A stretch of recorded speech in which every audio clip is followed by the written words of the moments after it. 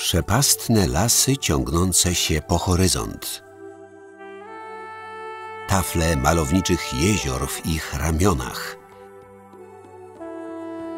Meandrujące rzeki pośród tajemniczych mokradeł. A pomiędzy nimi zagubione wioski i przysiłki z mozaiką łąk i pól. Oto jeden z najbardziej lesistych obszarów Polski. Nadleśnictwo Bytnica. Z lotu ptaka.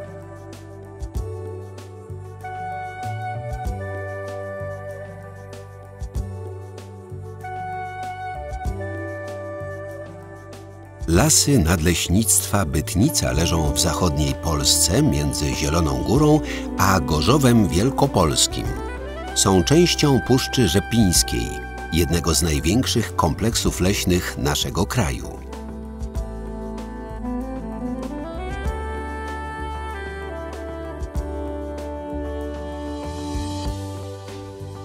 Większą część obszaru nadleśnictwa zajmuje równina torzymska – to kraina krajobrazu polodowcowego z wieloma malowniczymi jeziorami, w tym z jeziorem głębokim.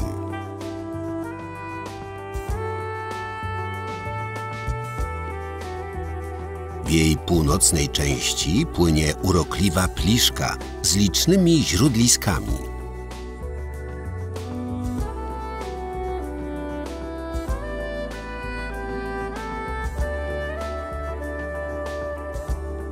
Natomiast w jej wschodniej części meandruje Gryżynka.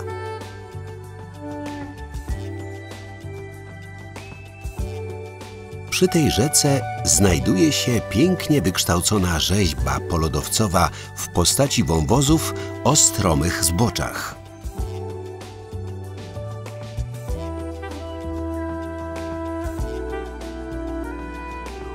Perłą przyrodniczą tej krainy są łąki dobrosułowskie, znane z misterium rykowiska jeleni. Wschodnia część nadleśnictwa leży na Pojezierzu Łagowskim o podobnej rzeźbie terenu.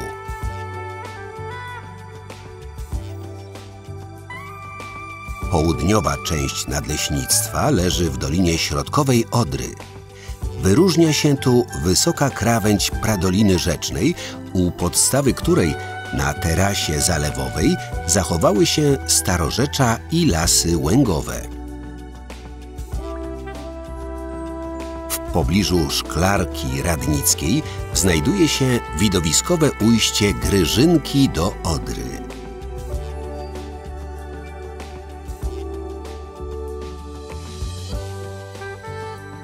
Przez północny skraj nadleśnictwa przebiega magistrala kolejowa Warszawa-Berlin.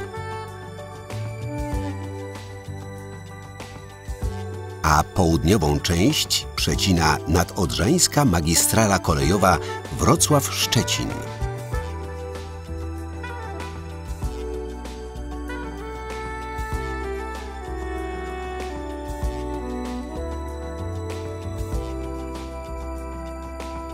Dogodny dojazd do nadleśnictwa umożliwia autostrada wolności Warszawa-Berlin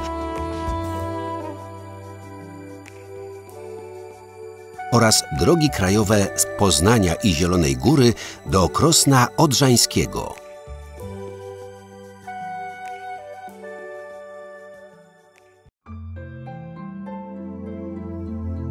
W lasach nadleśnictwa dominują monokultury – to pozostałość zaprzeszłej gospodarki. Są to drzewostany sosnowe z mchami, borówkami, wrzosem czy kępami porostów runie.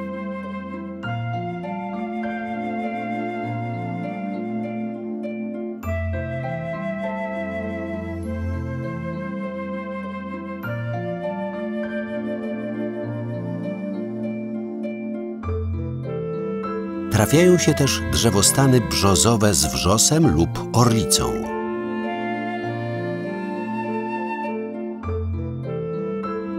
Tu i ówdzie rosną kwaśne dąbrowy z przewagą dębu bezszypułkowego. Natomiast na stromej krawędzi Doliny Odry zachowała się dąbrowa ciepłolubna.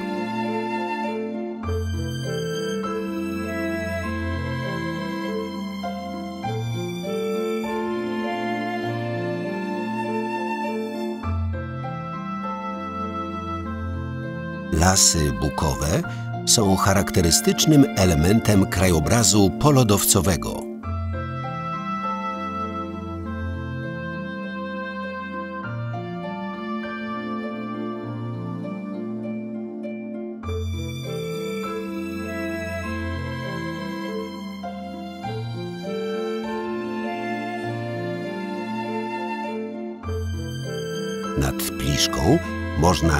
Napotkać lasy dębowo-grabowe, zwane grondami. Wzdłuż dolin rzecznych rosną lasy jesionowo-olszowe. W obniżeniach terenu spotkamy olsy, trudno dostępne bagniste lasy.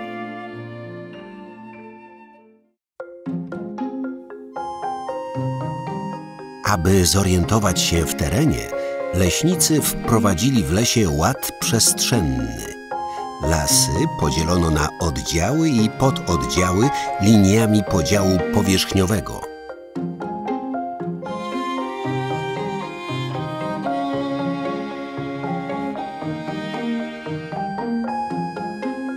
Leśne dukty lub drogi służą do transportu ludzi i maszyn do pracy w lesie, a także podobnie jak wieże dostrzegalni przeciwpożarowych, do ochrony lasu przed ogniem.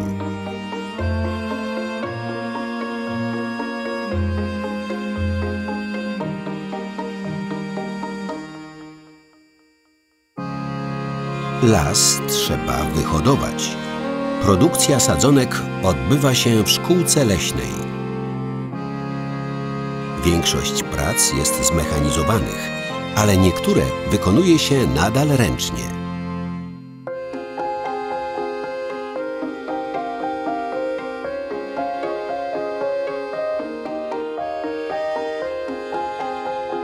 Potem sadzonki trafiają na uprawy i las doglądany przez leśników zaczyna rosnąć. Zazwyczaj blisko 100 lat.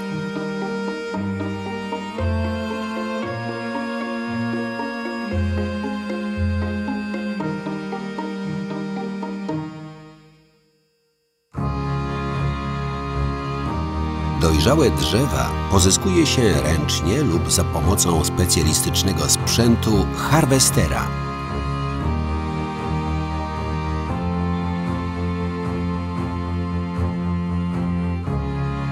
Następnie po dokładnym pomiarze wyrobione drewno ładowane jest i wywożone z lasu. To, które trafia do miejscowego tartaku, jest po raz pierwszy przerabiany na belki, łaty czy deski. Potem powstaje z drewna tego najbardziej ekologicznego surowca magazynującego dwutlenek węgla z powietrza 30 tysięcy produktów finalnych.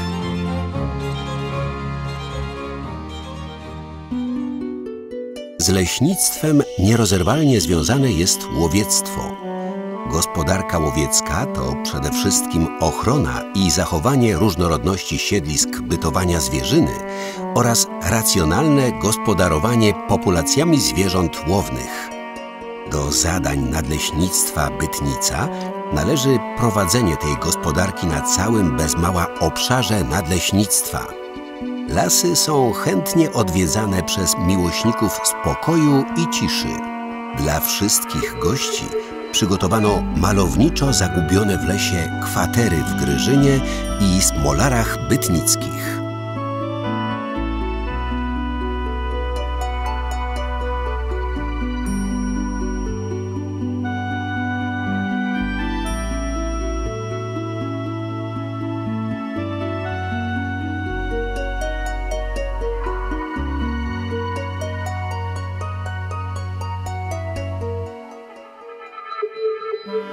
Las spełnia wiele funkcji. Dostarcza tlenu, wiąże ogromne ilości dwutlenku węgla, pochłania zanieczyszczenia pyłowe i gazowe, retencjonuje wodę, łagodzi wpływ wiatrów. Aby dobrze wykorzystać potencjał lasu, nadleśnictwo Bytnica zgodnie z maksymą francuskiego leśnika Louis Parade naśladować przyrodę i przyspieszać jej dzieło, wciela w praktyce nowatorski sposób zagospodarowania lasu metodą Sobańskiego.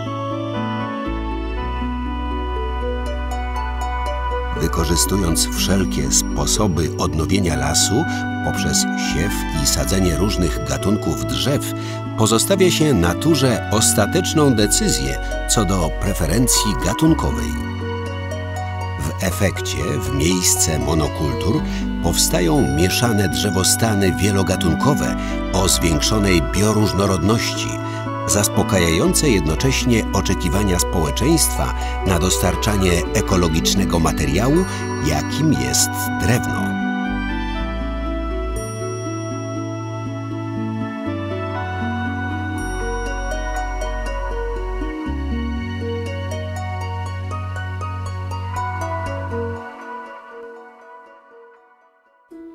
Przyrodnicze perły nadleśnictwa objęto różnymi formami ochrony. Oto meandrująca rzeka Gryżynka, serce Gryżyńskiego Parku Krajobrazowego i ostoi Natura 2000 Rynna Gryżyny. Tutejsze wąwozy posiadają wiele uroku.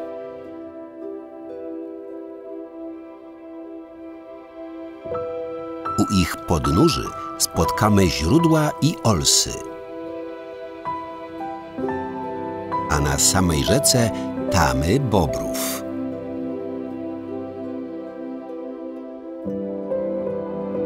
Malownicze i rybne jeziora, na przykład Jatnik i Jelito, to kraina Bielika. Ten nasz największy ptak szponiasty chętnie zakłada gniazda na szczytach sosen.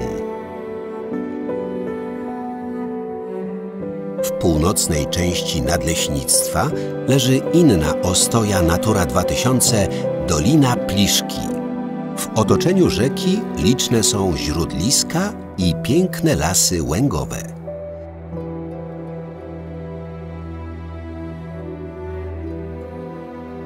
Nad jej dopływem, konotopem, mieszkają bobry.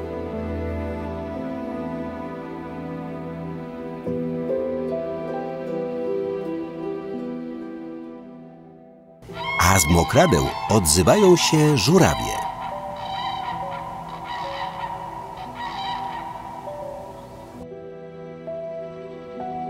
Kolejną ostoją Natura 2000 są lasy dobrosułowskie, które obejmują również obszar słynnych łąk dobrosułowskich, znany w Europie raj jelenia szlachetnego.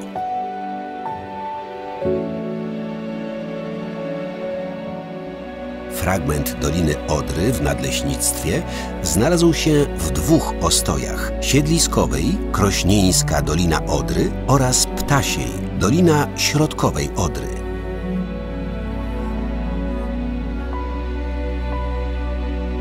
Natura 2000 chroni również aleje dębowe w okolicach Gryżyny, siedlisko Jelonka Rogacza.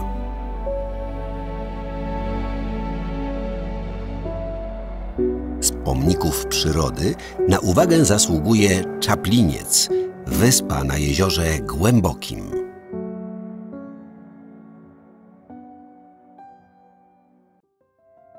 Któż z nas nie lubi zagłębić się w kojącą oczy zieleń i poszukać darów lasu? Tutaj obfity wysyp grzybów czy jagód uraczy każdego. Wysoka lesistość, niskie zaludnienie i znikoma sieć dróg sprawiają, że lasy nadleśnictwa Bytnica są chętnie odwiedzane przez licznych turystów, tak indywidualnych, jak i zorganizowanych. Spotkamy tu lubiących Nordic Walking.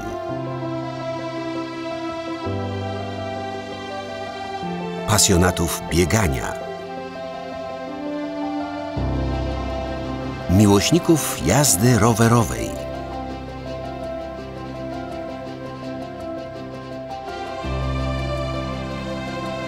Stadnina w Gryżynie oferuje jazdę konną.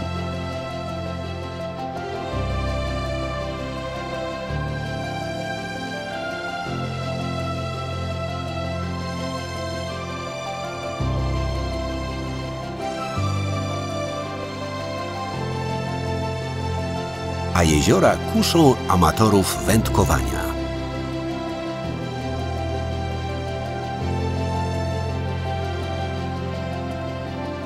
Szukający wytchnienia mogą odpocząć nad jeziorami w Gryżynie czy Łochowicach. Leśne ostępy doskonale nadają się na kształtujące ekologiczne postawy harcerskie obozy. W leśnej głuszy zaszywają się czciciele bushcraftu czy fotołowów.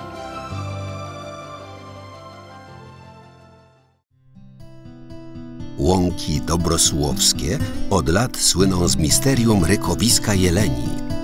W trosce o ochronę siedlisk wilka i jelonka rogacza oraz racjonalne udostępnianie tych łąk, Nadleśnictwo Bytnica wykonało projekt Cervus Witaj w naturze.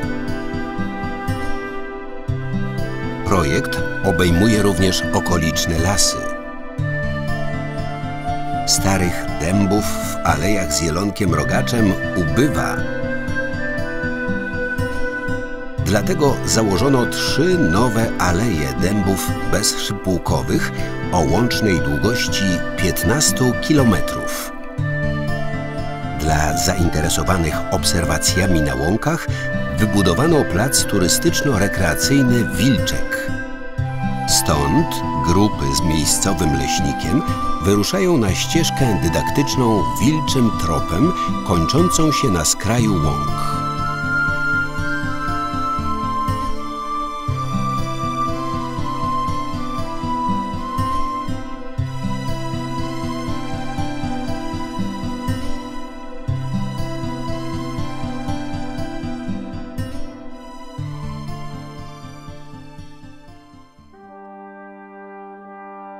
Obszar nadleśnictwa od wieków charakteryzowała duża lesistość. Osadnictwo było tu skąpe i rozproszone i tak pozostało do dziś. Główna fala osadnicza przebiegała wzdłuż Odry. Do dziś zachowała się na jej krawędzi pod Gostchorzem bryła wczesno-średniowiecznego grodziska. Największym grodem w regionie jest ponad tysiącletnie Krosno Odrzańskie. Zachował się w nim Zamek Piastowski, ulubiona siedziba Henryka Brodatego –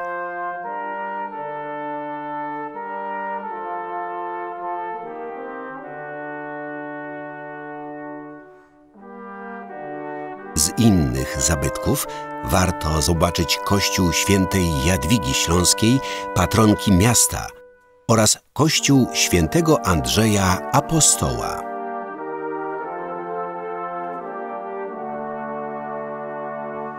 Malowniczo położona pośród lasów i jezior Bytnica wzmiankowana była już w 1308 roku. Dawniej posiadała prawa miejskie. Obecnie jest to wieś gminna. Góruje nad nią wieża barokowego kościoła świętego Piotra i Pawła. W zagubionej pośród lasów Gryżynie zwraca uwagę pałac z połowy XIX wieku, wykorzystywany przez Hohenzollernów jako ośrodek myśliwski. Otacza go romantyczny park.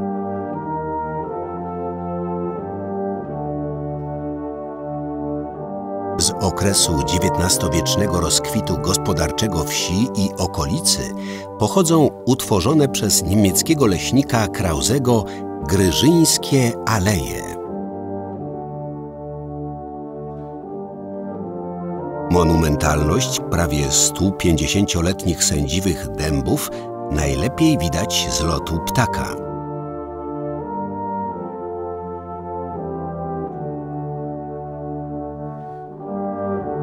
Grabinie przykuwa wzrok szachulcowy kościół barokowy Jana Chrzciciela oraz otoczony parkiem XVIII-wieczny dwór szlachecki rodu Żychlińskich. Zabytkowe kościoły przyciągają uwagę w Niedźwiedziu i Łochowicach.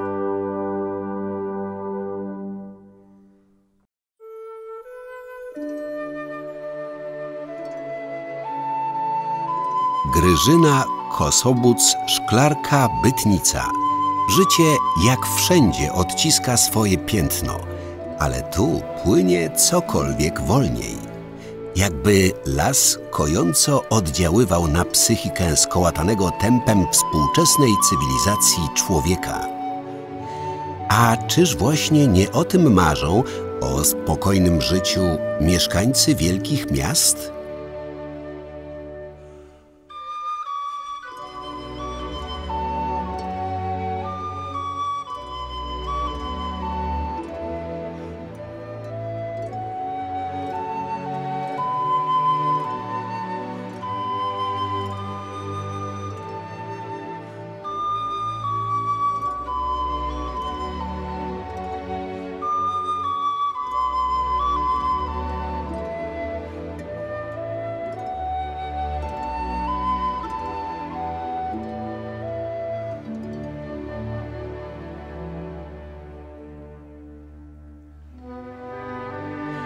Niektórzy znaleźli tu swoje miejsce na ziemi, jak przybysz z Francji, który w Gostchorzu założył winnicę.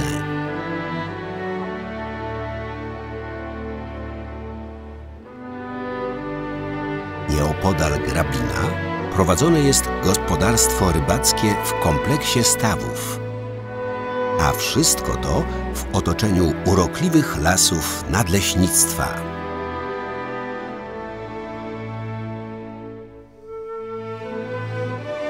Jedynie w pobliskim Krośnie Odrzańskim życie toczy się w szybszym tempie.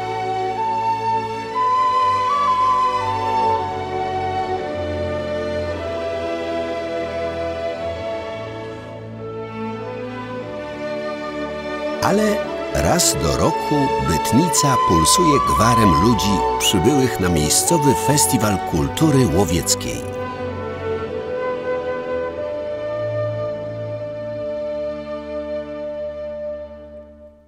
Miesza się tu historia ze współczesnością, tradycja z nowoczesnością.